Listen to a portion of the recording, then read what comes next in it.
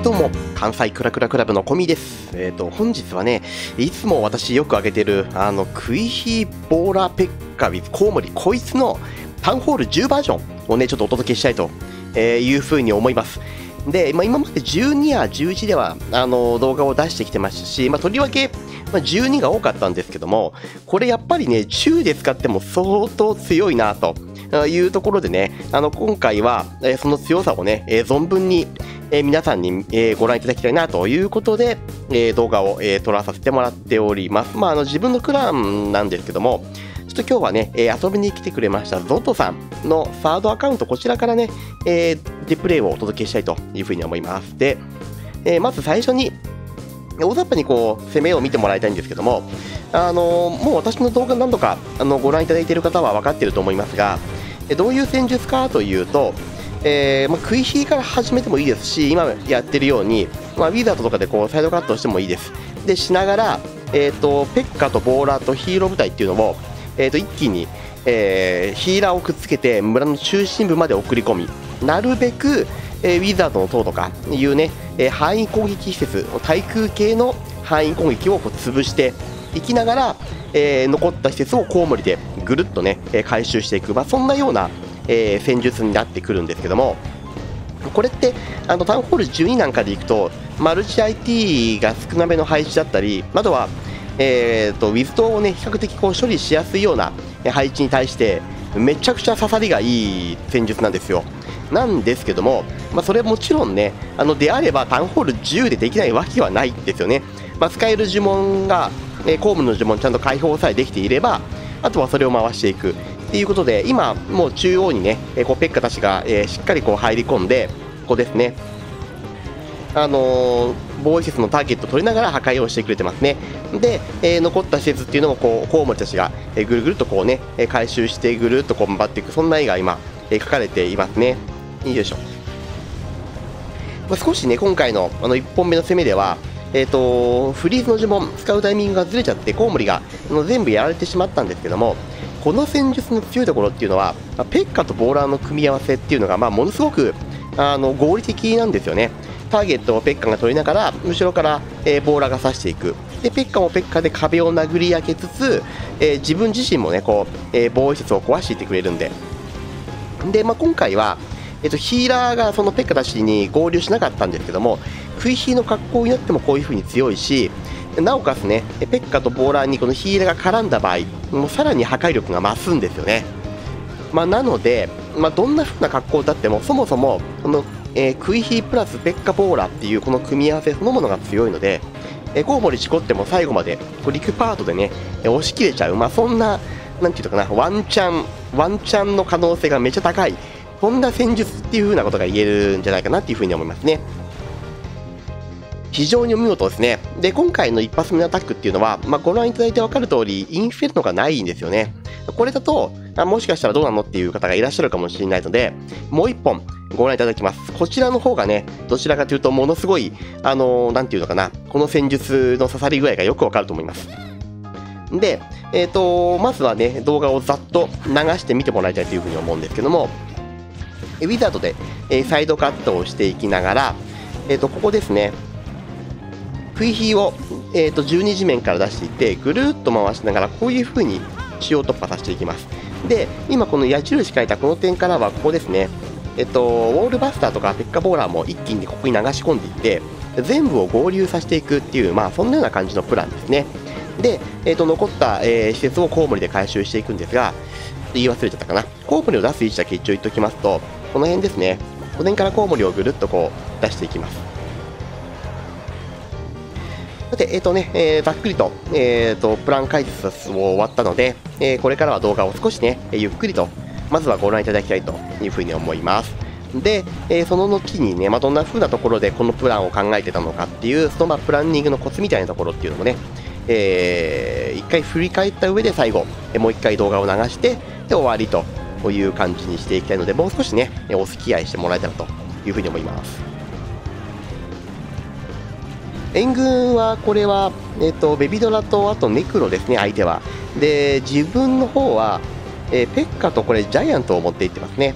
まあ、ここの援軍はまあボーラーでもいいと思うんですけども壁を途中で殴り上げなきゃいけないような状態にまあなるだろうなとおそらく想定していて壁を殴れるペッカを入れたんじゃないかなというふうに思いますねあとアーチャークイーンが意外と今倒しましたけども奥面にいたのでねあのペッカがこのタイミングでいなくなっているとボーラーが次々やられちゃいますからまあ、そういう意味でも、まあ、今回はね、えーと、ペッカーの方が突破力という意味で、あと、まあ、そのターゲットを取ってくれるね、立役という意味で、有用性があるというふうにまあ踏んだんじゃないかなというふうに思います。どうですかね、ここまで見てもらって、まあ、非常に分かりやすい攻め方をされてますよね、ゾゾさん。あの価格に対する考え方がすごく、あの、シンプルで、まあ、この攻め方っていうのは見ていて気持ちがいいんじゃないかなっていうふうに思います。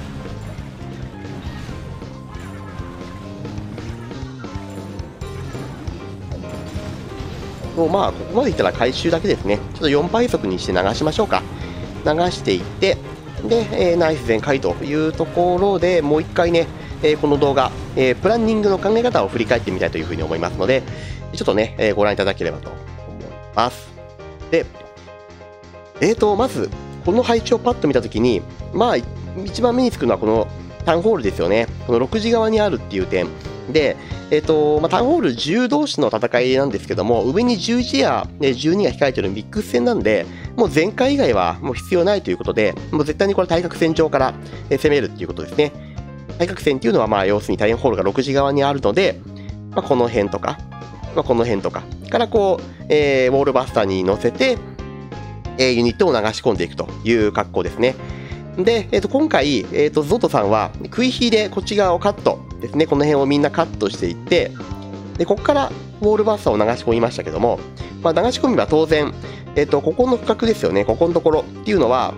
えー、破壊できるのが、まあ、見えてきますね。ここは。そうすると残っちゃうのがここの部分になってくるんですけど見てもらって分かる通りウィズ島がこれ1個しかないんですよね。範囲攻撃はこれだけです。マルチ IT は今この左側の車線書いたところで全部潰せるんで持ってく呪文としてはこれを倒す用のフリーズ2個。で、えー、とコウモリは5発ですね。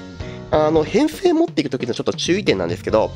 こういうマルチ IT とかウィズトなんかを止めたい場合にはフリーズ1個じゃこの戦術無理ですあのほぼほぼね、えー、フリーズが解けた瞬間に、まあ、ウィズトにコウモリがやられちゃいますなので1個止めるのにフリーズ2個っていうのは覚えておいてくださいで、まあ、ゾトさんの1回目の攻めもそうなんですけども、コウモリの呪文もあの5個持っていってますね。で、そのうちの1個は援軍をもらってます。これね、すごい重要です。あのタウンホール10で特にこの戦術やる場合には、コウモリのレベルが低いと出てくるコウモリの数ってすごい違うんですよ。まあ、それはちょっとね、あの自分のその呪文の、えー、コウモリのその召喚数見てもらうとね、あの違いがわかると思うんですけども、なので、もらう呪文っていうのは、なるべくコウモリにして、出すコウモリをね、少ない呪文の数でいっぱい、えー、ユニット数としては増やすような格好がいいんじゃないかなっていうふうに思います。まあちょっと余談で少し話がずれましたが、全体のプランニング的にはこんな感じですね。この丸画を描いたこの部分っていうのはコウモリで潰す。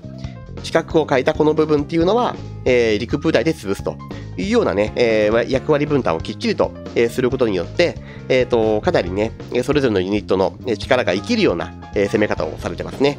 これも非常にお見事です。で、えーと、そんな形になっているということで、もう一回、えーと、話を少しね、しながらこのリプレイ見ていきたいというふうに思います。まあ、割と時間ギリギリだったんですね、今回は。残り10秒ぐらい残ったのかと思ったら、もう10秒もなかったですね。で、えーと、まずはウィザードでしっかりカット。このカット重要ですね。あのー、この戦術だけではないんですけども、VP する場合、これ逆に回っちゃうと結構痛いので、カットはしっかりすると。ただまあ逆に回っても怖くないですね。あのー、この区画に、ここかな、ここ。ウィズ島も、えーと、マルチ IT もないので、逆回ったらバスターをこっちからこう入れていけばまあいいだけの話ですね。ただまあ事故を防止するには、なるべく自分の決まった方向からユニットをこう流し込んだ方がね、あのー、テンパって事故るっていう可能性はないので、ある程度、あの予測できるようなラインを組んラインっていうか、そのなんていうかな、ユニットの流し方を組んでおくっていうのはありですね。で、もう1個、このバーバリアンキングのカット、これもうまいですね、ここ。あの、これをカットさせることによって、ペッカとかボーラーが、あのー、ていうのかな、この外周にそれないように、しっかりと、えー、ケアをできてますね。あの別の動画での上げてますけども、バーバリアンキックのカットって本当にね、有用性が高いです。あのターゲットは当然取ってくれるんですけども、それ以上に壊してくれる施設の数がものすごいので、まあ、そのカット効果によって壁の中に入ったペッカとかボーラーがね、えー、外に外にこう、なんていうのかな、吸い寄せられずに、しっかり壁のね、中心を歩いていけるようなラインができる。まあ、という意味でも、ここまで、えーと、ババキンを使ってカットする意味っていうのはもう非常にありますよね。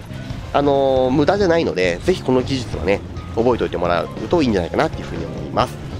で、えー、中から出てきた今ペッカたちが壁を殴り焼きつつ、ボーラーとこう組み合わさって、マルチ IT やウィズトを片っ端から折ってきますね。ここまで来るともう全開がやっぱ見えますよね。で、フリーズの呪文、今こう2発目打ってますね。お見事です。これね、私もよくやるんですけど、この戦術やる場合には、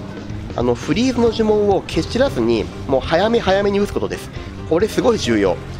あの1個の施設にフリーズを2個使うって決めておいたにもかかわらず、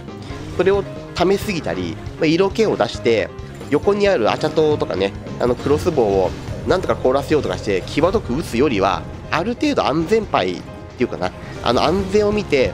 ウィズトに絶対絡むように打つとかね、まあ、マルチ相手に打つでもいいんですけど、いう風にした方がいいですね。あの、1個ミスるとコウモリ全部やられてプランが型崩れになるんで、